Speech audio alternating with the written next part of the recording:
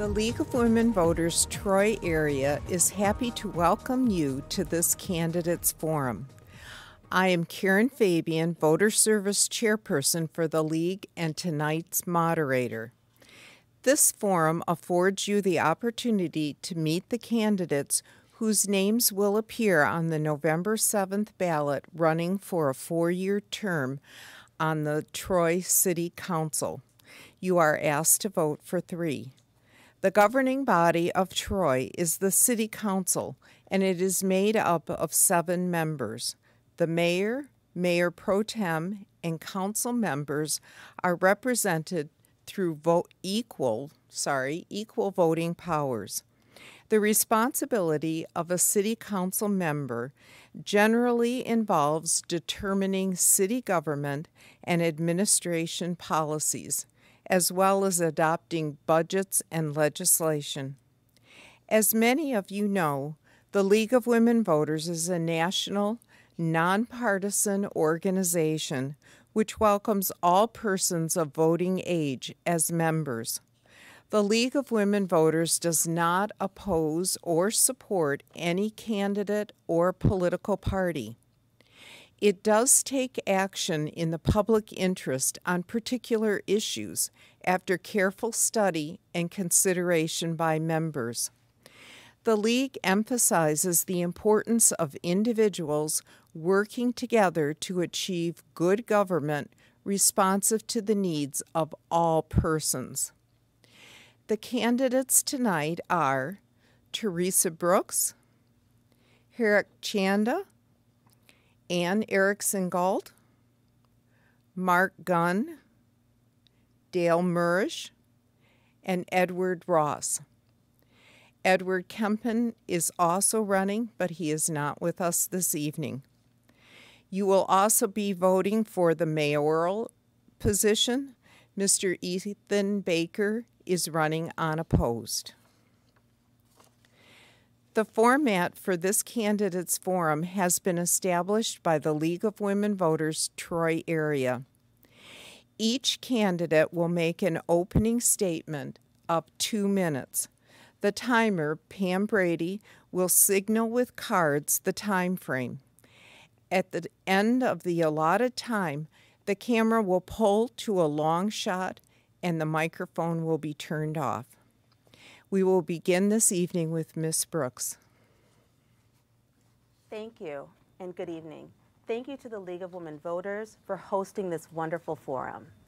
My name is Teresa Brooks and I am currently serving on City Council since 2019. I am a physician, a small business owner, and a mother of three wonderful children who attend the Troy Public Schools. I love living in Troy and I love raising my family in Troy.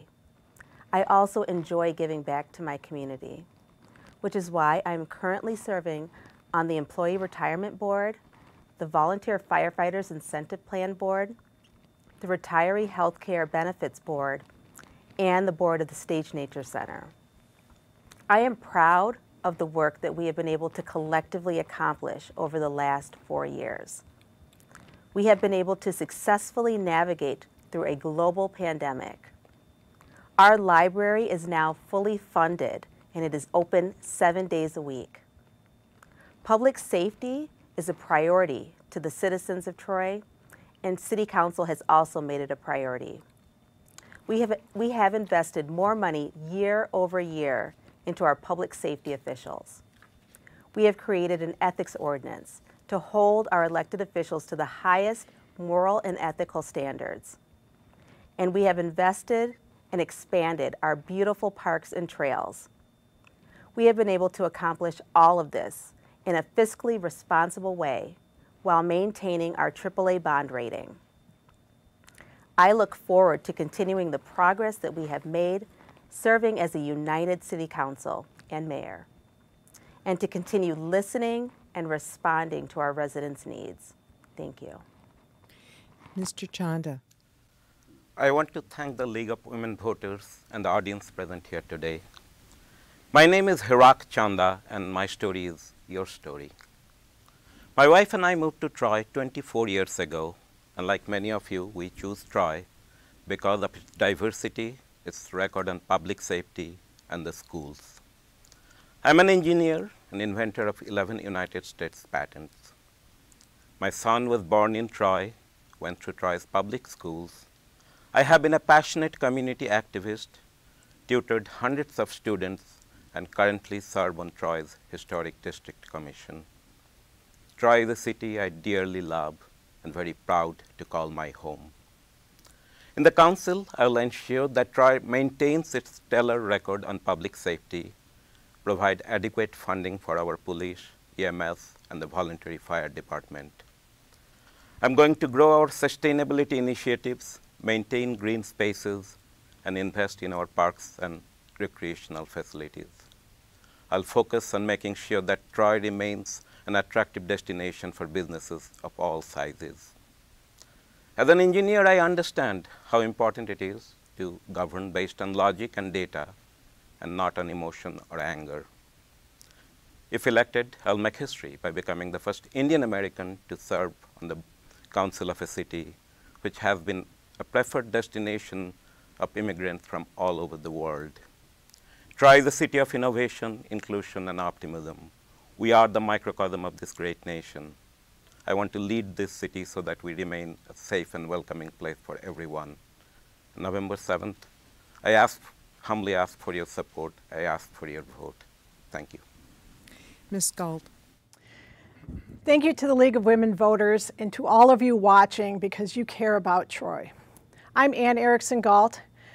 I've lived in Troy for 19 years with my husband, a GM analyst, and my daughter, an Athens grad. An, I'm an attorney. I have an office right here in Troy, and since 2019, I have served on your city council.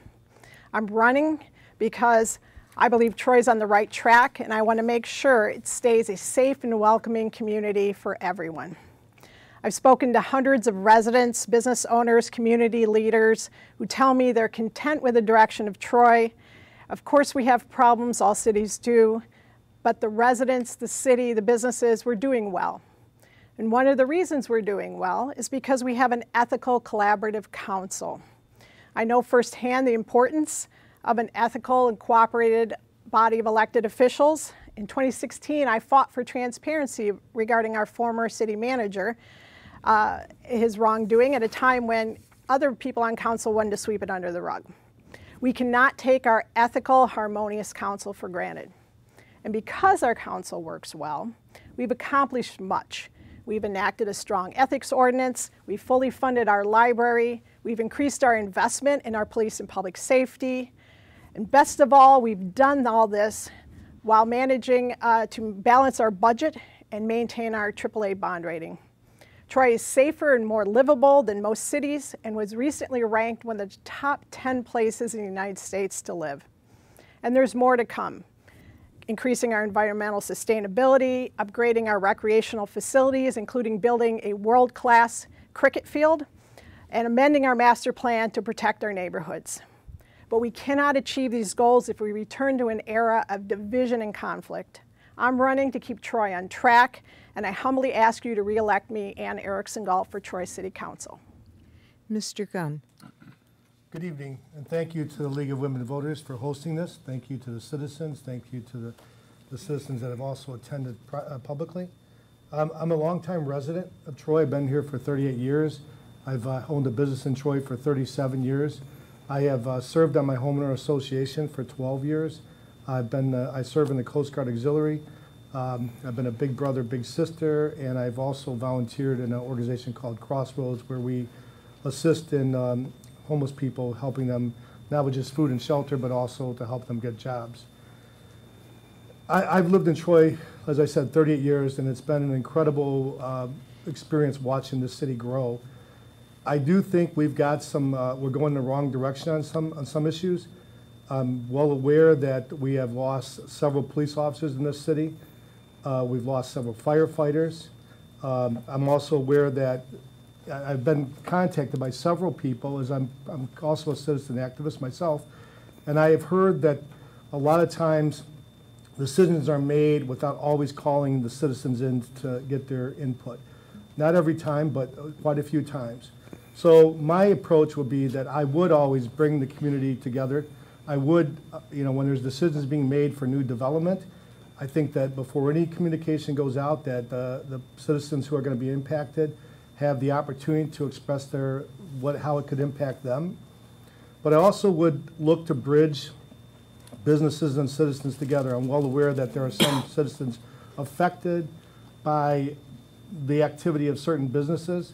So I would try to bridge the gaps. Uh, as a city councilman, I'd focus on the following strategies. I would create an open dialogue and communication. I would establish lines of communication between business owners, community members, and the city council. I would hold, I would, uh, I guess, request that we have regular town hall meetings. And Mark Gunn, I look forward to your vote. Thank you. Mr. Murish. Hi, I'm Dale Murish, and my goal is to bring a unique, independent perspective to the council, representing all stakeholders in Troy, residents, firefighters, police, and city employees, regardless of political views or citizenship, including business owners and those who work in Troy but live elsewhere. Sustainable development. Troy has very little undeveloped land. We want to have developments that fit in with the nearby neighbors, ideally that they are happy with. We don't want new five-story apartment buildings overlooking backyard swimming pools. We may need changes in zoning laws to remedy this. The 20-acre development proposed at a recent, recent council meeting had over 140 single-family dwellings. It might meet the current zoning laws, but that cries out for changes to not put 500 people on a postage stamp. New housing developments could leave most of the backyards forested for the wildlife. We can encourage apartments and condos to have curbside recycling. Maintenance costs in city buildings could benefit from using large rolls of toilet paper like many businesses already have. Automatic faucets too, where we don't already have them. Fiscal restraint. Fis Troy already has good fiscal discipline. I will propose a 1% inflation-adjusted budget cut each year for five years. Each department could look for creative ways to economize. We could use the savings for the firefighters incentives fund or a property tax cut. We need to remember we're spending other people's money. Keep Troy family friendly. Let other towns have mar marijuana dispensaries. Treat government like a business, partner with schools, and promote energy, energy efficiency and recycling. There's more at dalemurish.com. I pledge to work harmoniously with the other council members and mayor. Different ideas do not have to be divisive. Mr. Ross. Thank you. I'm running for city council out of a profound sense of duty to my community. Our city faces both critical challenges and remarkable opportunities in the coming years. I believe that my background and experiences make me the best candidate to represent the interests and aspirations of Troy residents. I lived in Troy since 2012. I have a computer science degree from Wayne State and an MBA from the International University of Monaco. I'm a software engineer by trade, and since 2019, I've been a Troy volunteer firefighter. One key motivation um, behind my candidacy is a prevailing sentiment among our residents that their concerns often fall on deaf ears in the City Council. This feeling is one that I share and I aim to address comprehensively. I believe the decisions made by the City Council should be grounded in robust community engagement and feedback. One example was the Site 11 ballpark proposal. It's my vision to ensure that decisions of such magnitude are made with a broader spectrum of community input, fostering transparency and accountability. My professional background as a software engineer has given me a unique problem-solving approach to address complex issues. I've honed the ability to break down huge challenges into manageable components and systematically assemble solutions.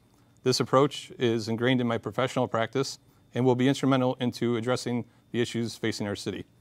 My experiences living and working and studying in diverse international settings from France to Egypt to Afghanistan have prepared me to navigate and appreciate Troy's cultural diversity. Our city is a mosaic of cultures, and I understand the importance of embracing and respecting these differences.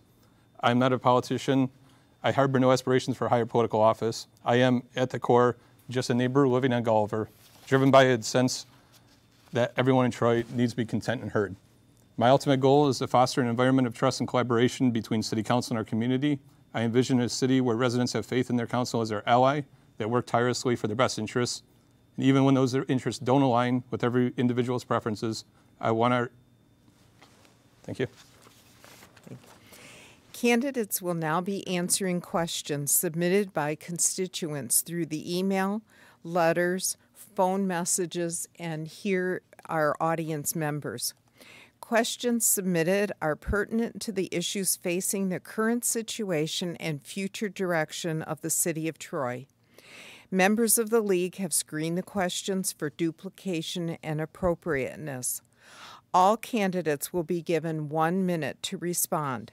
I reserve the right to close discussion of one question and to go on to the next.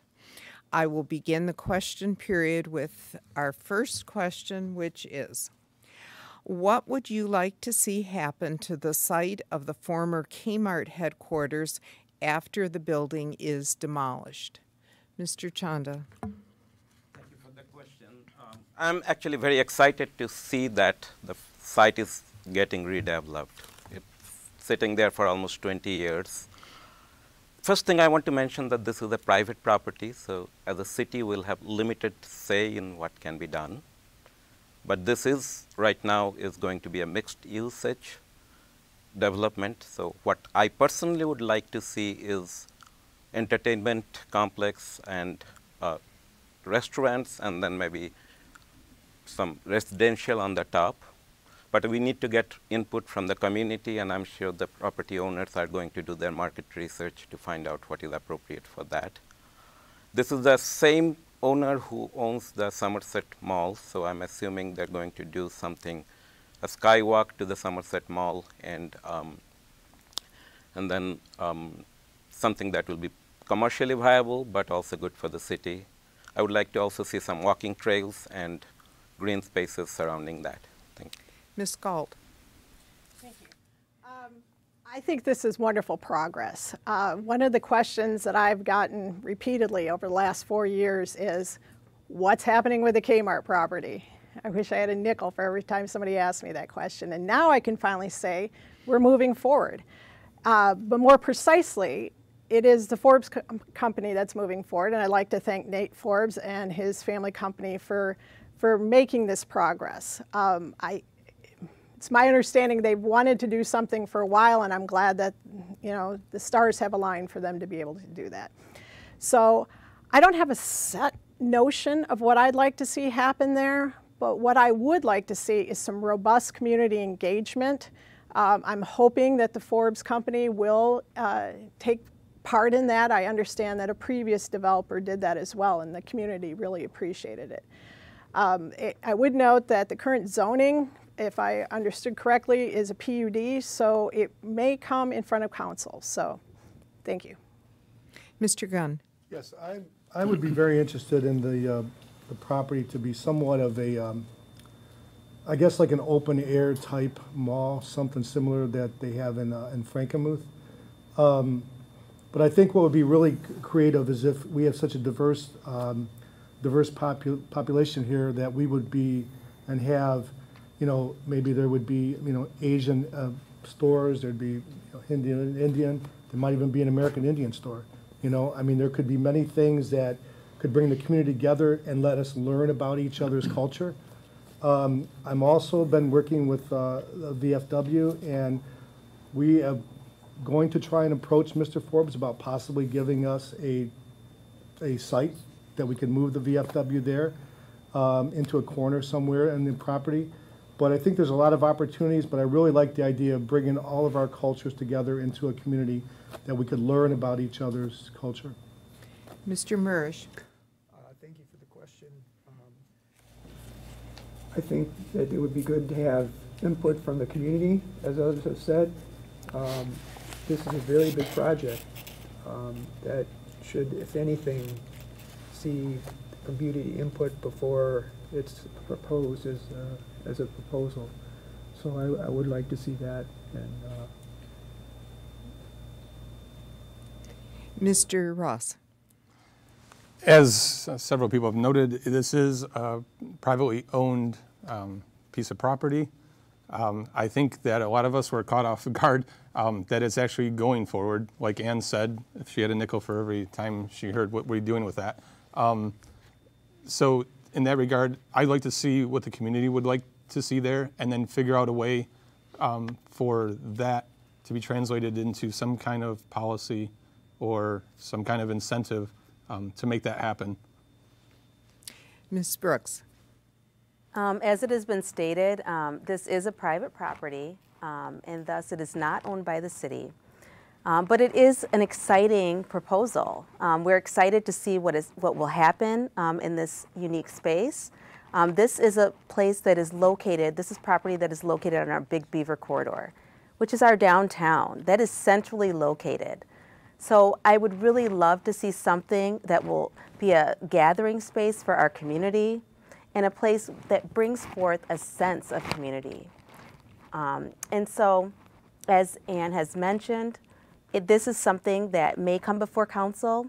If it is in fact a PUD, um, we may have some input as far as um, our recommendations. But I really hope that the developer does engage the residents and puts forth something that we can all celebrate and be excited for. But this is exciting news for our whole city. It's very exciting. Should Troy develop a plan to enhance sustainability in the city? If so, how should it move forward? Ms. Gault. Wonderful question. Um, sustainability is one of the things that I want to see the city work on in the coming year. And in fact, we've already begun that process. We recently had a study session in which we talked about how we would go about creating a sustainability plan for Troy. Uh, we are on track. We've applied for and are on track. We hope to receive a significant grant, uh, community block grant from the county. And that grant money would allow us to do a lot of things. Uh, one of that's been proposed is to hire a consultant to help us develop this plan.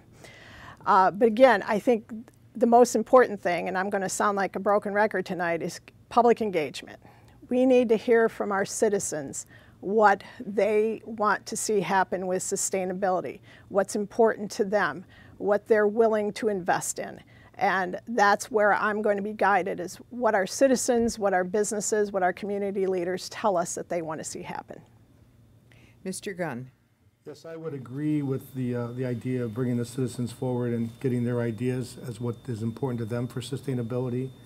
Um, you know, there's numerous different things that we can do, but I guess if there's a study being done already, it'd be wise to look at that and get their input. Um, too often, you know, some of these things that we're considering doing move forward without any engagement. And I've been a big proponent that we bring all the citizens in who want to give their input and let's hear what they believe should be done. So that's that's how I would support it. Mr. Murish. There was a recent meeting where sustainability was discussed, and there were quite a few people, volunteers, would, would be able to volunteer for a, a commission on that.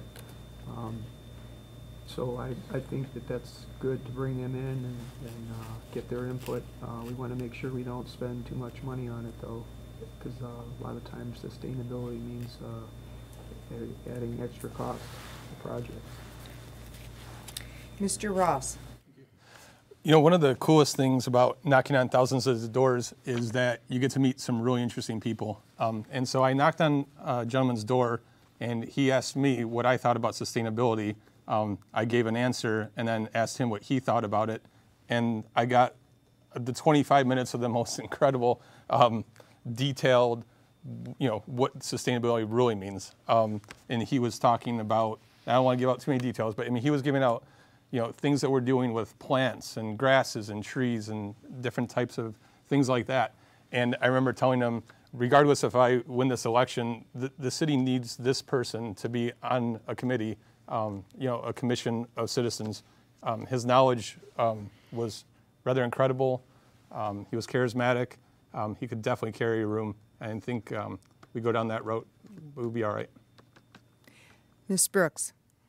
There is a strong economic argument for the city to support sustainable practices. And I would first like to acknowledge um, what our city has been doing. We are a member of the Michigan Green Communities Network. We also recently had a study session, as Ann mentioned, earlier this month, and we will be applying for a block grant at the end of the year. We plan to utilize these funds to create a strong sustainability plan and we would also likely hire a consultant to help guide us through this process. We have created an internal uh, sustainability committee, um, and as we work uh, towards developing a comprehensive sustainability plan, our fo- focus is also looking at um, resiliency and things such as um, EV infrastructure. Uh, we will continue to explore additional funding opportunities such as grants, and we'll work with our, our municipal neighbors as well as the county to bring sustainable practices to our city. Mr. Chanda. Yes, I, I also attended the same, uh, same forum, the study session, and I applaud the city for getting or applying for that community block grant. Um, we are trying to, we are going to form a sustainability committee, and it is important that we move forward. Community engagement is ex extremely important because we have a lot of expertise within Troy who are very passionate about this issue and they want to help, and it can come from different sectors. We also get to get feedback from the businesses. Um, it's and that with the grant we're going to make a, hire some consultants from outside, but it's also important that we have our internal people from Troy residents who will be part of the sustainability committee. So all suggestions are important, and in long term we would like to move forward with sustainability initiatives. We had several questions submitted on this topic. Please clarify your stance on marijuana dispensaries in Troy. Mr. Gunn. I would actually suggest, if I'm elected, that we adjust the um, city charter and that cannabis dispensaries would be um, banned. That would be my decision. Mr. Murish. I would agree with that. Do anything we can to keep them out. Mr. Ross. Yeah, um, so I drive through Sterling Heights quite often uh, to play hockey. Um, I've driven by dozens of dispensaries. Um, I've seen what it's done to streets like Van Dyke, Mound, things like that. Um, I would, well, no one should go to jail, obviously, for using marijuana, um, I think that the dispensary should stay out of the city of Troy. I think that that's what the people want. We haven't, they, you know, the proposal didn't even make it on the ballot this time, um, despite, you know, paid efforts of larger companies. So I'd continue that. Ms. Brooks. I would like to be very clear the city of Troy is an opt out city. We do not allow marijuana dispensaries in our city. Um, it is not something that anybody has an appetite for. It is not something we are planning to initiate. And so I just want to be very clear that we do not have marijuana dispensaries in our city, and there are no plans for that to happen. Mr. Chanda. I agree with Dr. Brooks. We do not have marijuana dispensaries in Troy, and we don't plan to have it in the future. So I do not support if a proposal like that will come in future. I do agree with medical marijuana, which is important, but for recreational purpose, I do not support that. Ms. Gault. As Teresa said, we are an opt-out city. There are no dispensaries in Troy. There's no current plans to bring dispensaries to Troy. Some of you may have seen petition signature gatherers uh, this summer who were misleading people into believing that they would be creating a charter amendment that would ban uh, or somehow limit dispensaries. Well, we already have them limited to zero, and we want to keep it that way. Um, I would agree uh, with Mr. Chanda that medical marijuana has its place, and we do allow a, a limited number of medical marijuana growers within the city. Uh, so it's working fine just as it is. There's no need to change it. Troy is well known for its excellent public facilities, such as its library system and parks. What have you done to support the amenities that countless Troy families enjoy, and how would you support them as a council member? Mr. Murish. Um, I have been a, a uh, I've been a patron of the library, and, and I enjoy uh, getting books and, and DVDs there. And so I believe it's very uh, important to have that there. We had a bit of political battle over this several years ago where the library was shut down for a time. And then, uh, so it's like one group of people wanted to have a Cadillac library and the others were happy with the Chevy library. And, and uh, so anyway, they finally got this resolved. So uh, uh, I would, I would do my best to support the library and the Parks and Rec.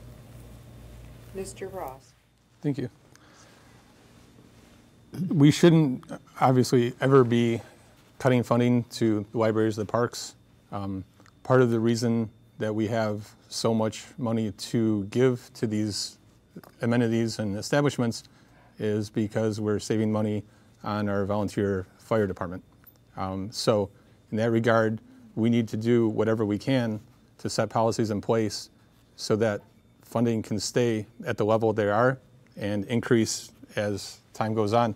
Um, the cricket field that's um, coming in is going to be a huge boon um, for participation in the parks. Um, and we've talked about public-private partnerships. While Site 11 wasn't ideal um, for that ballpark, there is a location somewhere in the city where things like that can be explored, and so that money um, for these things doesn't have to come directly out of our pockets. It can come from uh, Ms. Brooks.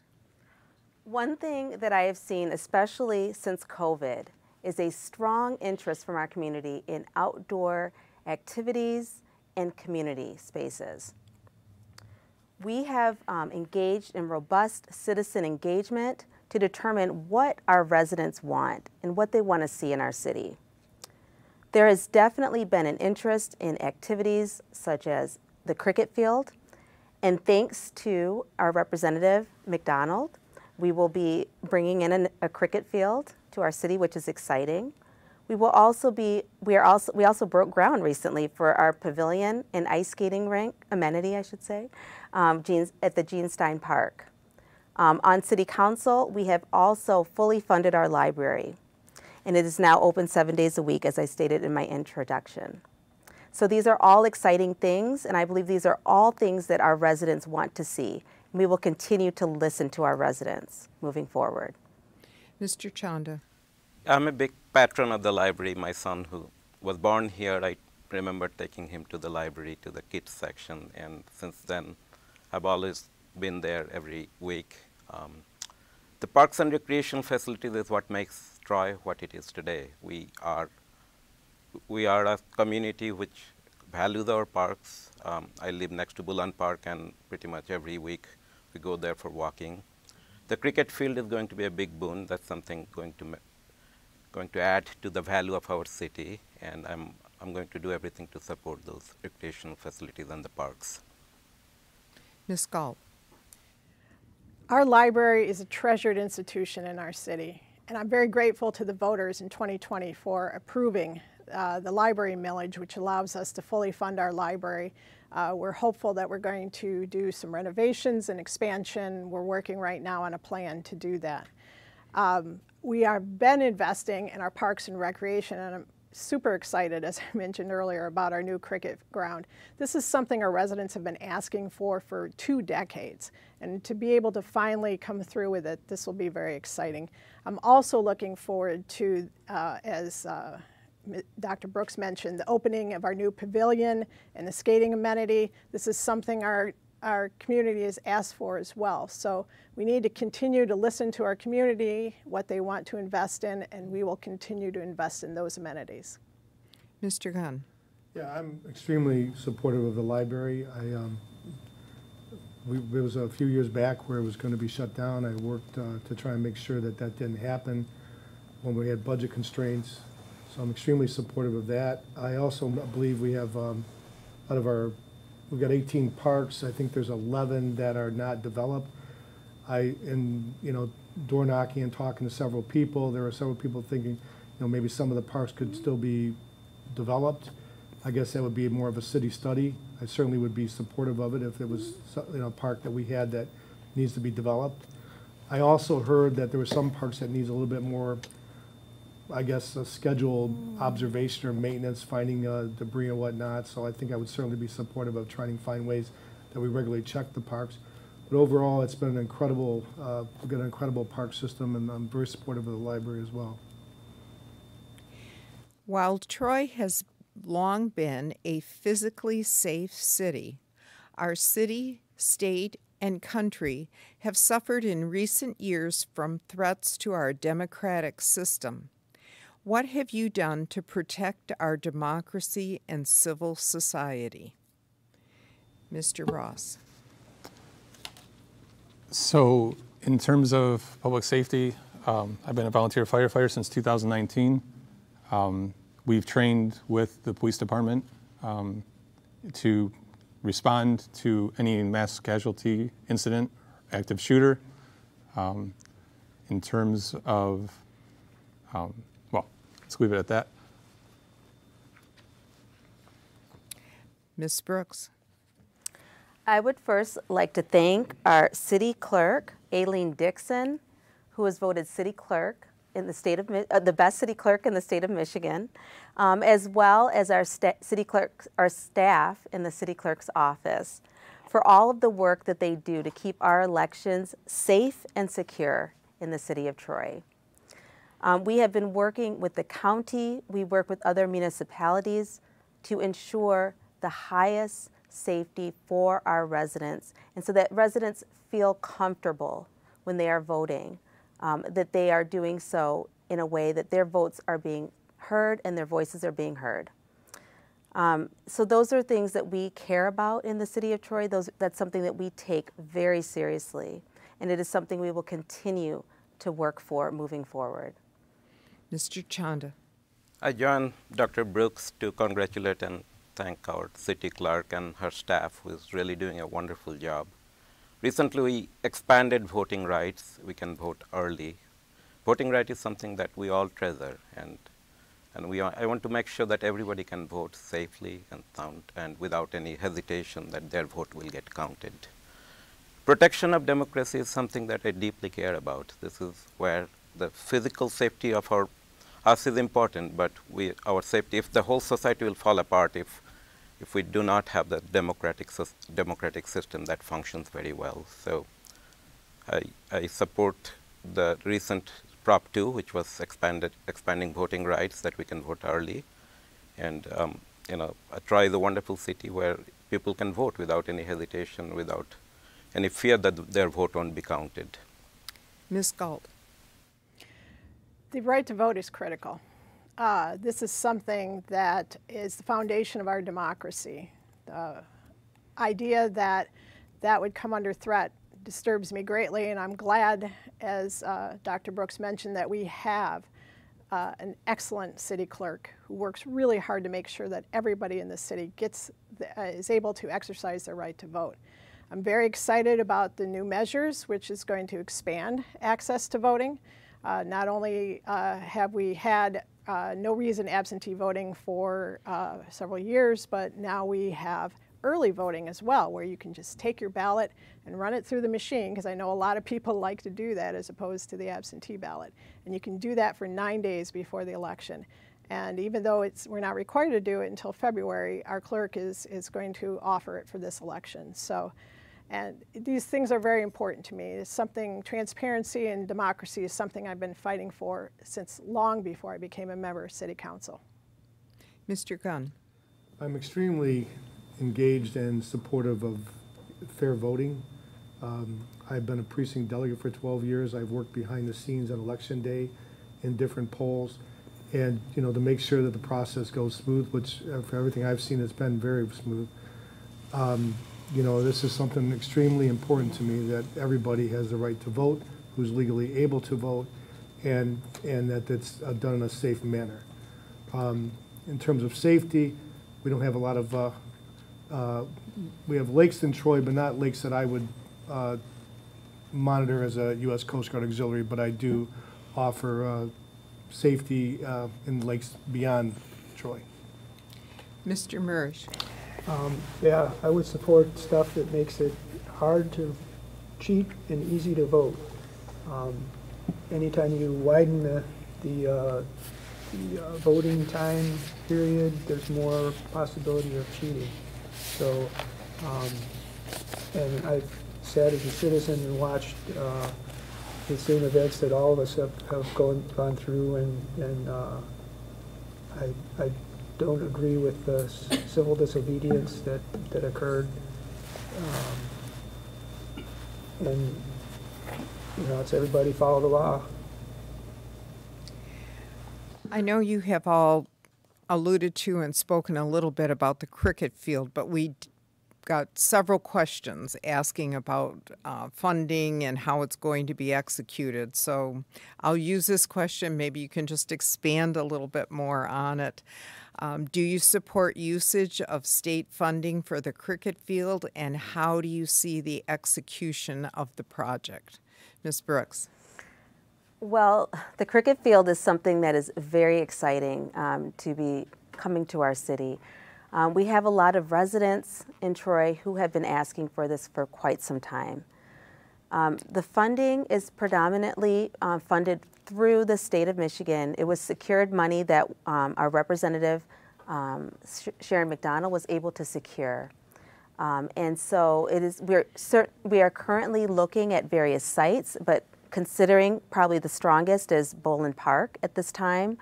Um, and we, but we are still working out some of the details. It's not completely figured out, but we are working out some of the details. But it is something that is very exciting for our city, and it has been something that residents have been asking for for quite some time. So we're happy that we are able to deliver this for our residents.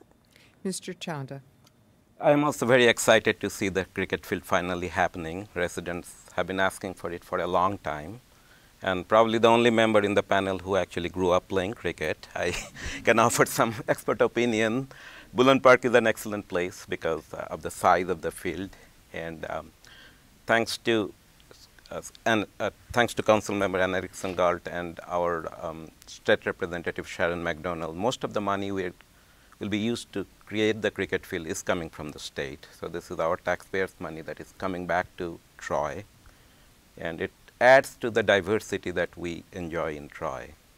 It's, it's, uh, we're already a very diverse city, but then about 20% of the population are from South Asian origin and they enjoy playing cricket. So, and people, I don't know if people know that it's the second most popular game in the world after soccer. So hopefully it will bring business to Troy. It will br bring a lot of prospective customer or home buyers to Troy. So I'm very excited. Ms. Gault. So I'm just beyond myself in excitement about this cricket field. I've been uh, working with people for years now to try to make this happen. Uh, funding was always an issue because it, we have a very tight budget in Troy, so we had to figure out how we would pay for this. And I'm very grateful to Representative MacDonell for bringing the money back.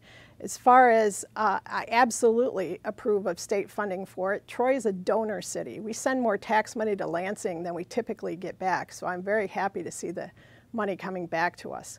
Um, the our South Asian community, especially, is going to be very excited about this. Uh, my understanding is um, by using the location in Boulan Park, we will be able to build a field that would support national and potentially even international games. So this is going to be a real boon for the city of Troy in many ways.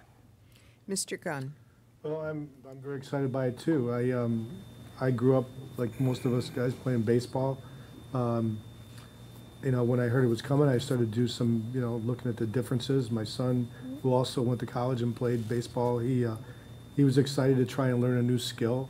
Um, so I, I am excited by this, I, and I'm, I'm okay with the state bringing the money back. We, as, as we've said, we've certainly given enough money to the state, so it's nice to see some of it coming back.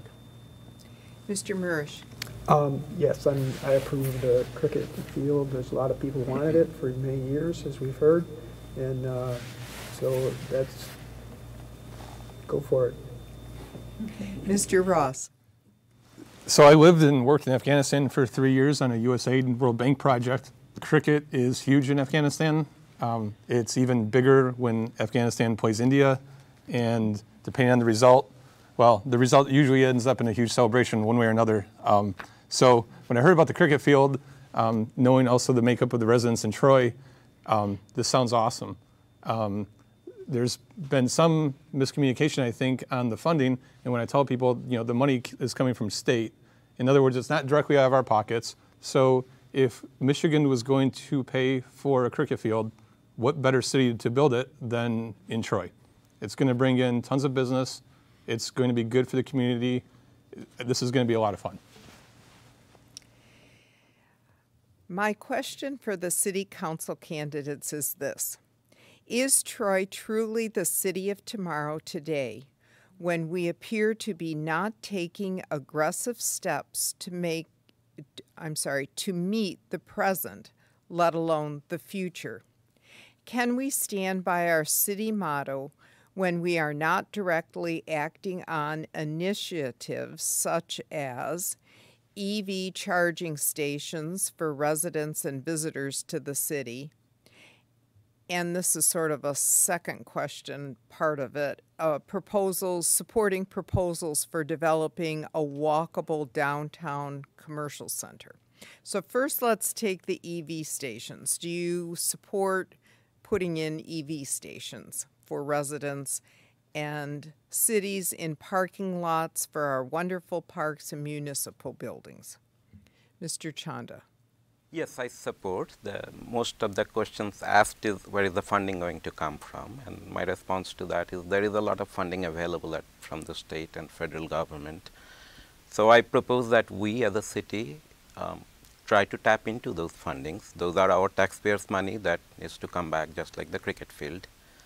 And also there are private enterprises like Tesla is going to potentially putting some high-speed chargers in different parts of Metro Detroit. So if we want to remain a leader in this area, we would like to invite people to invest in Troy and, and build up charging stations so that the businesses feel like coming here.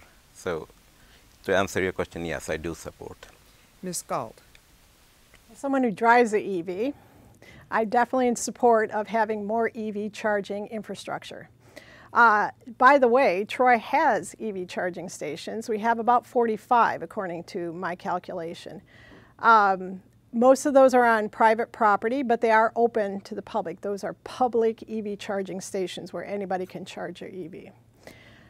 I would like to see the city move ahead with having more EV charging. Um, again, uh, it's always going to be about funding, and also location because there's a lot of infrastructure considerations that go into deciding where you put an EV charging station. So um, I, I, would like to see that happen. I'm hoping maybe the Inflation Reduction Act will provide some grant money. Um, and uh, also, people should know that the Inflation Reduction Act will allow you to get tax credits and other incentives to be able to put an EV charger in your home so that you too can enjoy driving an EV. Mr. Gunn. I'm very, very much in favor of this. I actually worked uh, through an engineering company on projects in California installing um, electric vehicle, um, you know, charging stations. And the reality is, the city doesn't have to necessarily put all this money into them. Gotta think of it just like a gas pump. So when these gas stations, it was gas, you know, it's gonna be a while before there's a change, but the reality is, the, the owners are going to want these charging stations, so you pull in and you still go in the store and clean the store. So they will be investing a lot of their own money as well as expecting the city to do anything like this. So I think it's very doable. It's going to happen. Um, I've seen it in California, so I don't think our city has to worry about putting in too much money into this. Mr. Murish. Um, I would prefer to see this done as when it makes economic sense, and that that's you know, how much federal money do you get versus whatever. Um, I, don't, well, I, I would just like to see everything done and give them a fair shake. There's been electric vehicles around for many years now, and so I think we want to, to, to, uh, to, to, to go with the, um, let, let the data decide. Does it make sense to do this economically? And, and if private companies want to do that in their parking lot, that'd be great. If it'll, uh, Meijer has some in, in their parking lot now. So I, on city property, I guess I'd, I'd not want to give up the regular parking spots for those. Mr. Ross. The private companies installing chargers one thing. I think we can get creative here. Um, I think that parking lots in parks are a good spot for charging. It doesn't have to be free. Not all of the city's um, income comes from property taxes. We can come up with interesting ideas of even just having um, EVs available at parks to charge your car. One, I worked at GM for several years. One of the most frustrating things is trying to find an EV charging spot. So if we place them in places that make sense, where residents would want to spend time while their car charges or while they, while they wait in line, um, I think there's quite a bit of opportunity to explore that. Ms. Brooks. Thank you. Um, Troy, as Ann stated, Troy does have EV charging stations. I was informed that Troy has more EV charging stations than any other city in Oakland County. Um, with that being said, of course we want to try to expand and do more. Um, the question does always come in the funding. There's always that question about where do we find the funds to implement this infrastructure. Um, something that can be considered would be encouraging developers to integrate it into new development, because that is always easier um, to do that when it's integrated into new development as opposed to trying to do it after the fact.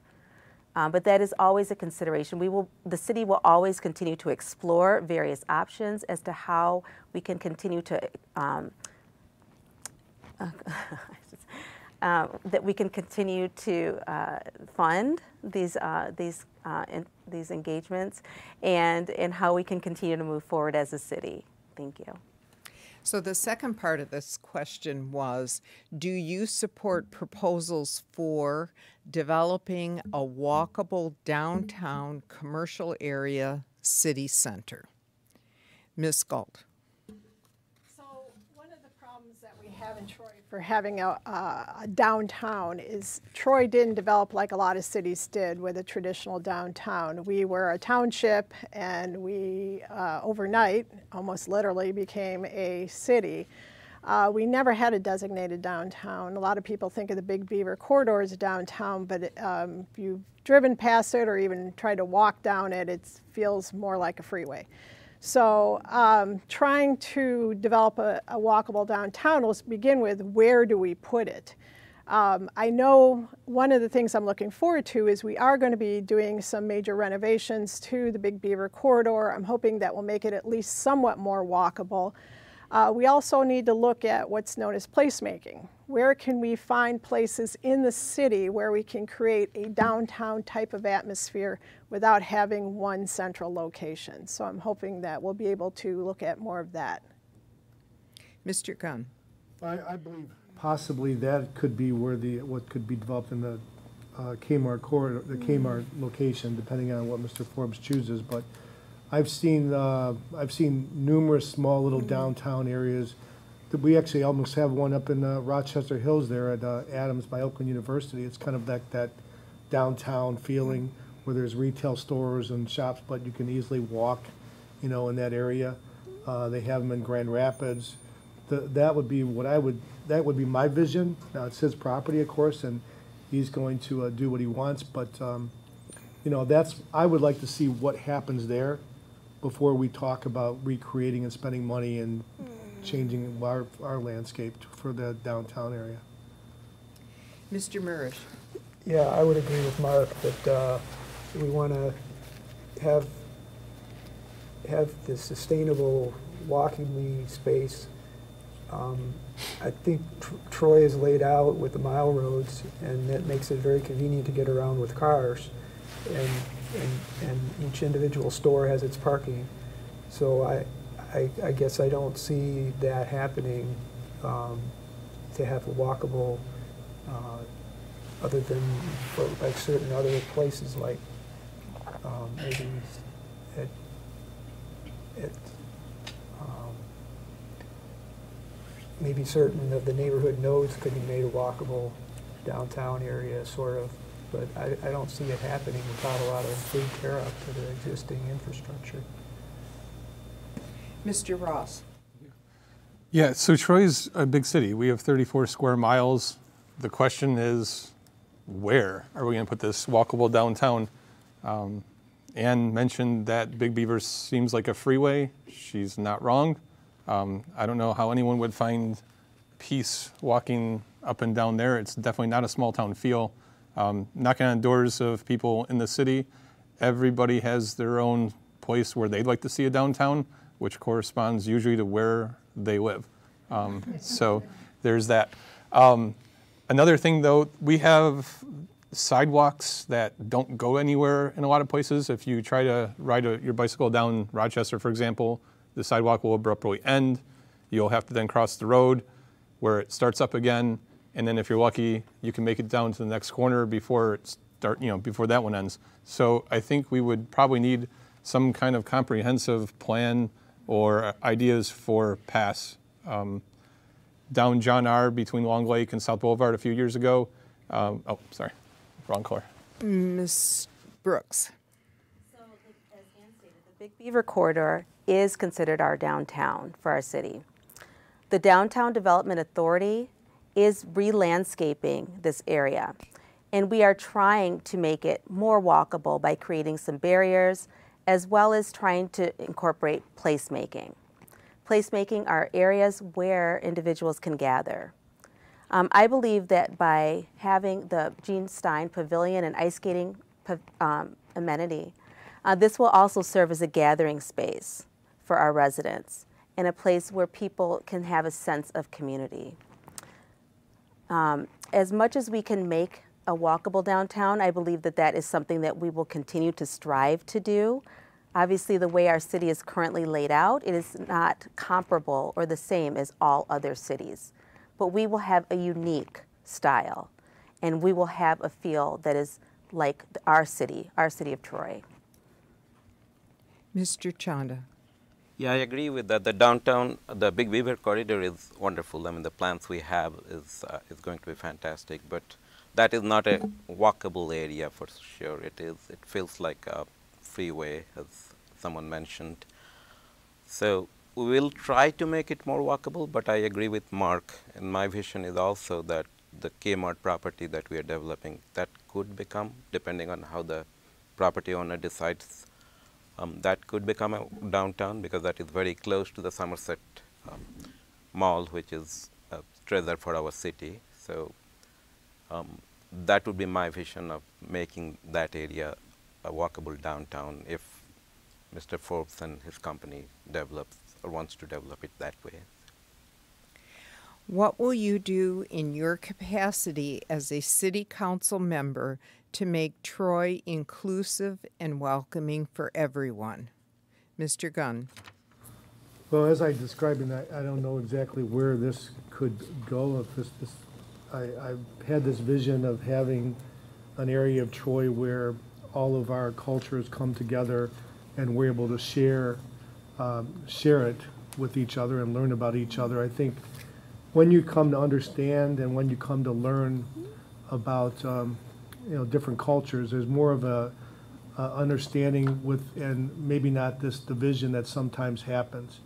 Uh, where this could be located, I don't have the answer for that. If I, you know, had a little time to maybe hear what the community thought of it, I would, I would certainly um, listen to that. But I would, that would be my that's my goal is to try and create an area where all these cultures come together and we, we learn from each other.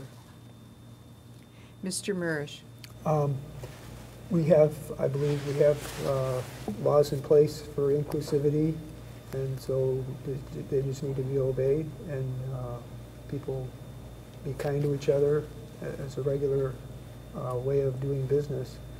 And uh, I think that things have improved over what they were, and things will continue to improve as we get better at, at uh, adjusting to it.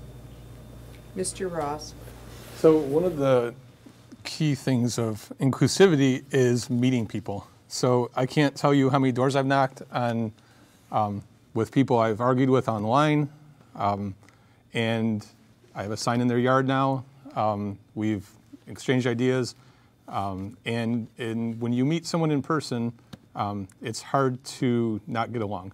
So when I was at the University of Monaco, they had a, a program called Peace Through Sport. It was a master's level program, um, and they would go through and um, in war-torn countries, things like that, and build partnerships like that. So, you know, some ideas would be um, local outdoor basketball tournaments or something where you can get citizens involved in areas where they live without having necessarily to go to a central community center, something like that. So, Ms. Brooks. So Troy is one of the most diverse cities in Michigan, and our diversity is our strength. We are also a welcoming community. The diversity of our city is one of the many reasons why I moved my family to Troy. Troy also supports our Global Advisory Committee, which is an advisory committee that incorporates uh, individuals from all ethnic backgrounds. I had the privilege to attend the Troy Days International Day and was so proud of all the beautiful diversity that was on display. So I look forward to continuing to engage and collaborate with our residents, and I am so proud of all the diversity that we celebrate in our city of Troy. Mr. Chanda. Troy is not is probably the most diverse city in Michigan, and it is it's not just the ethnic diversity, but it's also socioeconomic diversity. We are we have immigrants from almost 70 different countries in Troy, calling Troy their home. So I I am also very proud of the Global Troy initiative that we we have right now. Um, so I attended that uh, Troy Days Festival, where the celebration of different cultures they came together. I would propose more of these happening, like we celebrate some of the Diwali, for example, Chinese New Year, Eid, and all the other celebration of this stuff, maybe recognize these holidays. And then we might have a place where people can come together and celebrate their culture. Maybe do that thing that Global Troy is doing on Troy Days, do it one more time somewhere else. So we are an inclusive society. We're very proud of that heritage, and I think we will continue with that. Ms. Gault. I'm glad Hirak mentioned uh, the various other holidays that are celebrated by many of the diverse people in our community. Um, I would like to give a shout out to the interfaith group in Troy that have been working on these issues for quite a few years now. Uh, they've been trying to bring us together to, to not just to tolerate each other, but to embrace each other in, in, a, in a real spirit of pluralism so that we, we fully understand and, and, and get to know one another. Um, I think uh, the cricket field is a good example of us moving forward with uh, understanding the needs of various members of our community. I'm excited that our library is going to get a bookmobile so that we can start taking the library to people. Uh, we often forget that being inclusive also uh, means looking at people who are differently abled and not able to get around. And I would like to see a lot more people from diverse backgrounds on our boards and commissions in the city. We have seen a worrying increase in anti LGBT rhetoric and actions in Detroit metro area over the past couple of years. How will you ensure that LGBT people feel welcomed and respected in Troy. Mr. Murish. I was not aware of that. Um, I, I, would try to treat everyone equally and uh, do what I can to make sure that they feel welcome. Mr. Ross. So within schools, um, with anti-bullying campaigns, things like that, we should strictly state, you know, enforce those. Um, we should do more community events and outreach so that we meet more of our neighbors. Um, it's very difficult to hate somebody if you talk to them. And so um, the more that we can do those types of things, that can go away. I don't think that in any way um, Troy's ever um, advertised itself as a non inclusive um, place to be. Um, we had issues with previous city councils and comments, and the citizens took swift action and, and dealt with that. So, and I expect that would continue. Ms. Brooks. I think it, that it is very important that we make everyone feel welcome in this community. I know that our library does a lot of programming to be very inclusive, um, including in June, we celebrate LGBTQ um, in the library. and they do promote that on social media. And I believe that we, as a city, we try to really incorporate and include everybody. I do think that it would be wonderful to see even more diversity, as Ann had stated, on some of our boards and commissions to make sure that everyone knows that they are welcome in our city. Um, we continue to strive to be the best community that we can be and really include everybody. And I also agree that just having a strong sense of community and really getting to know our neighbors is really important. And, that, and that's a, a really strong way to just really feel that you get to know each other and that um, everyone can feel a part of the community. Mr. Chanda. Part of the reason I love Troy so much is because we are a safe and welcoming city. So part of being welcoming is also welcoming sexual orientation, difference in sexual orientation. One of the things I learned during campaigning as I knocked doors that I you get to know people and get to understand where they're coming from. So Troy is doing a wonderful job. The current administration and the mayor and the city council, I believe, is doing a wonderful job making sure that residents feel welcome, irrespective of their sexual orientation or or any other ethnicity. It's part of being a diverse society is not just ethnic diversity or socioeconomic diversity. Sexual orientation does play a role in that. So I will do everything I can to make sure that tradition continues. Ms. Gault. I think this ties in very much to the previous question. Uh, how do we make Troy an inclusive and welcoming community? Uh, I have a family member who identifies with the LGBTQ community, and uh, I'm told that uh, they have personally experienced bullying in the schools. Uh, obviously, in City Council, there's very little we can do to control the school environment, but we can certainly set an example and let it be known that bullying on the basis of your LGBTQ status is unacceptable and we won't tolerate it. I've especially been disturbed uh, in recent past to see attempts to ban books or other such things because they tend to be geared at uh, LGBTQ themed materials. And I can't help but feel that that has a lot to do with why people want to ban those books. So I would also love to see Troy have a pride celebration. I think that would be something that would uh, be, create a welcoming atmosphere. Mr. Gunn. I would agree with Dale and Ed in that completely respect mm. everybody in the city, regardless of their, you know, ethnicity or their sexual orientation. Mm. Um, I too have somebody in my family that has, you know, is part of that community, and you know, when you hear them talk about what they've gone through in that mm. process, it's um, it can be pretty pretty emotional. It's it's uh, it's not an easy lifestyle. Um, I would just be completely respectful and, and try and make sure that anybody that supports me or is a part of my team, that they're respectful as well.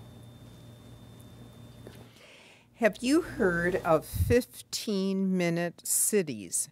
And do you see this approach in Troy's future? Mr. Ross. I don't know what a 15 minute city is. Okay.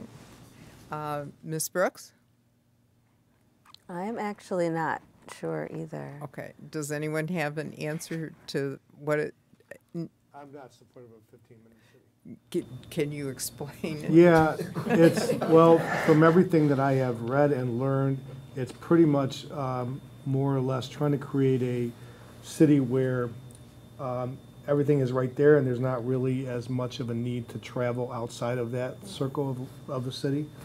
And you know, the, the, especially, my gosh, our state, we have so many incredible uh, opportunities to travel.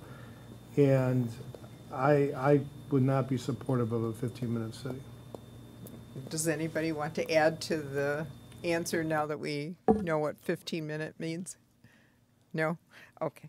Oh, go ahead, please. I would be inclined to, I agree with Mark that, that uh, the, this idea that everything's 15 minute city where you're getting maybe more grocery stores, smaller shops opening up to be within a certain area. So population density, and I think in Troy we enjoy having our uh, suburban a little more space per person. And, and, and it might be a 15-minute city might work for Royal Oak or someplace like that, or downtown Detroit has, has things like that. But I don't think it would fit uh, Troy very well without a lot of um, a lot of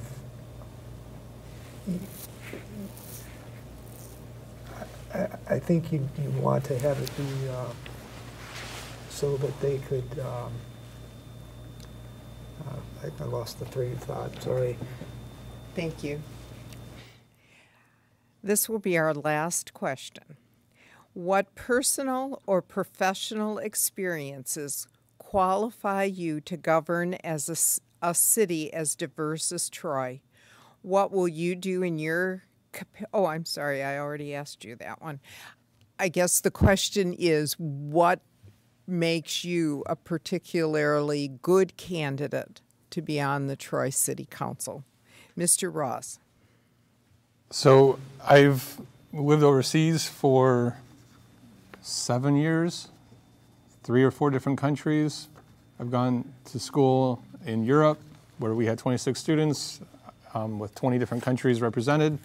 Um, I've lived and worked with all kinds of different people from all different backgrounds um, of every imaginable category the one thing that I cannot stand are when people feel like they don't have a voice, um, or if someone's not listening to them or taking their concerns as seriously as they ought to. Um, so, with that regard, um, I would want to represent every single person, make sure everybody's voice is heard. We've seen that um, in various things that we've reached out with um, in the past year here, gain voices heard, and I would hope that it would continue. Ms. Brooks. So I am currently serving on City Council for the past four years since 2019. Um, I am a physician, um, and as a physician, I am held to the highest moral and ethical standards. And the first rule of medicine is to do no harm, and that is something that I carry with me. I have carried with me for the past four years, and I will continue to carry that with me as I move forward. I am a mother of three children who reside in the Troy Public School District, so I understand our community very well. Um, I love living in Troy, and I would also just like to thank once again the League of Women Voters for inviting me to this forum this evening, and I humbly seek your ongoing support for the next four years.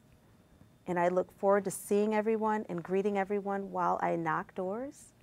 And to find out more about me, you can visit me at my website at www.brooksfortroy.com. And I continue to um, enjoy serving for Troy, and I look forward to the next four years. Thank you. Mr. Chanda.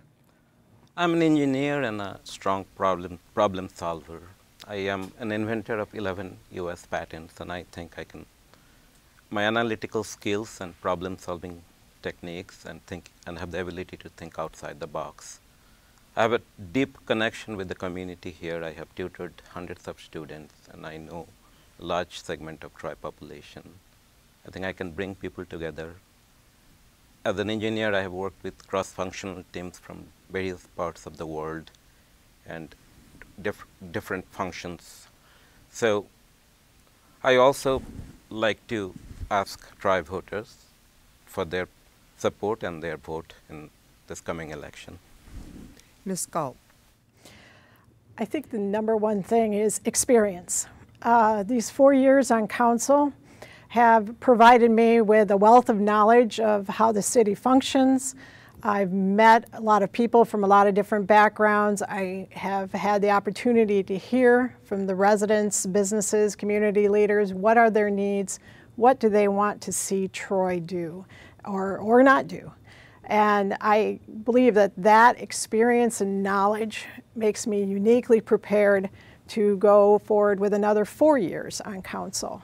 Um, I have demonstrated my ability to work with everyone on council. We have frequently disagreed on things, but we're seldom disagreeable. Uh, we work together well as a team, and I believe that should continue.